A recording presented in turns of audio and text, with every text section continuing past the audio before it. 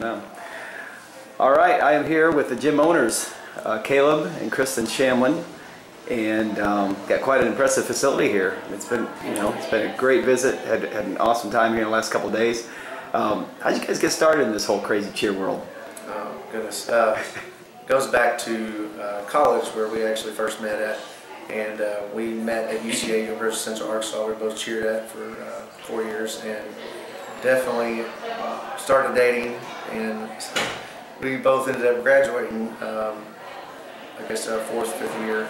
And we ended up, I ended up taking a job with her mom, which owned uh, the gym at the time which it was um, Ace All Stars at the time, Mm-hmm. which turned into Cheer City United that next fall when I came to take a, a management position there. Um, and ever since then, uh, we just we've been rocking and rolling, and that's how we first met. That's fine.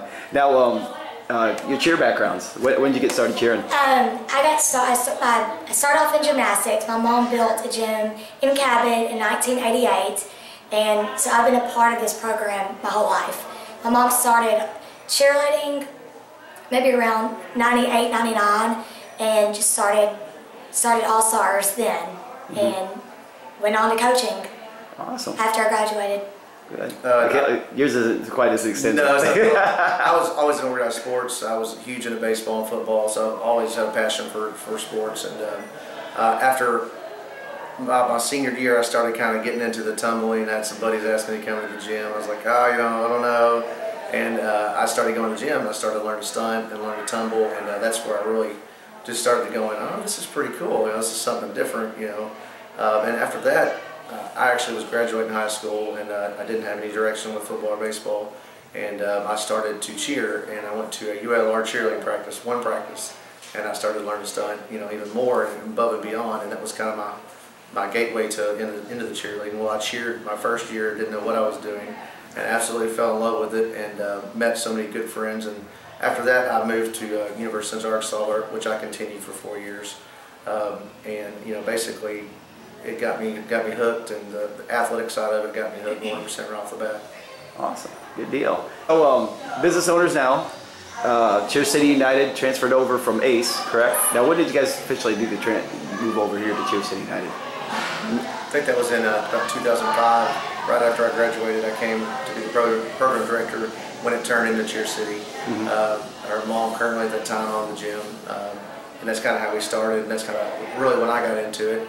Uh, didn't have any intentions after we graduated to really pursue cheer afterwards, but I knew it was something that we loved to do. I'd been coaching for, I mean, seven years before that, so uh, it was kind of my second nature uh, to, to just go forward with it. And I got an opportunity right out, of, right out of college, so I ran with it. And, you know, and honestly, here we are.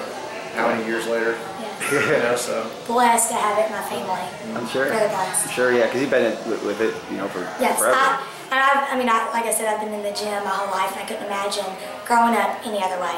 yeah. we bought Yes. the gym in 09, uh, somewhere around that area, and so we've been over since then, um, and just kept everything, you know, going and building and getting bigger. And so this is our second facility that we've been in since um, our first one. So Wow. definitely a good, good, uh, awesome thing that it happened to be able to build a new facility for our kids and all that.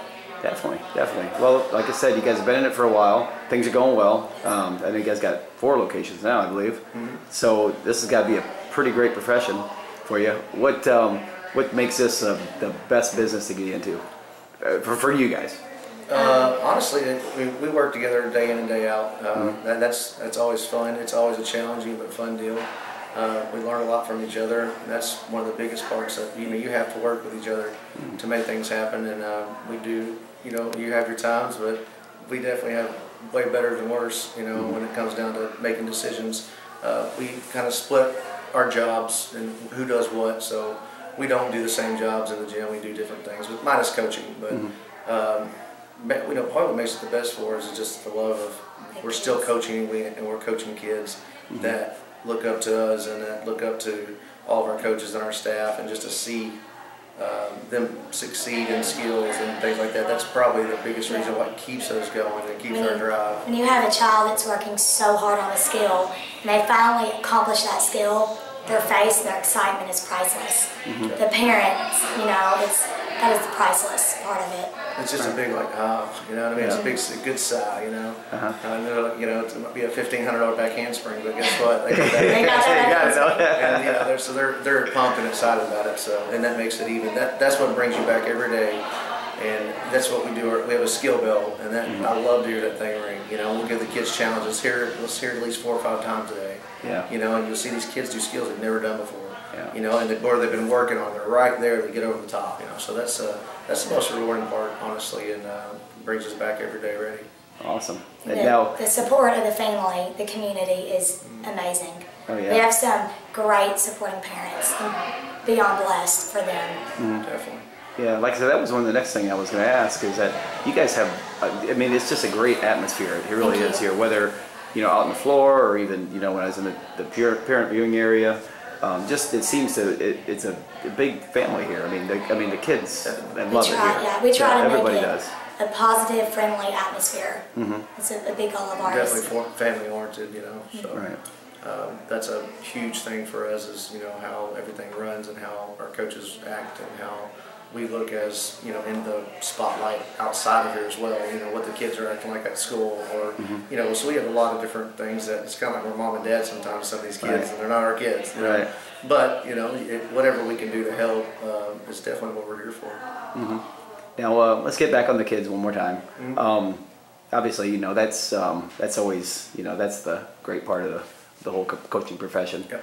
Um, give me some of your, I I guess, your proudest uh, moments as coaches.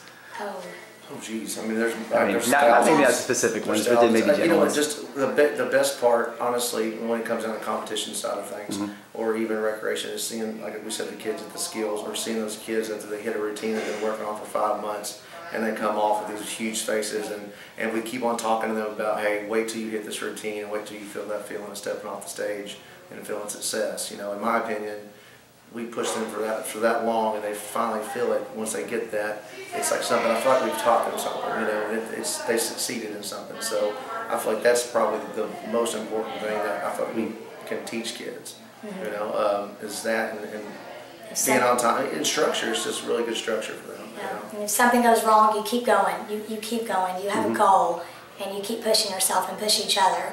You know, while you're on the floor. All right.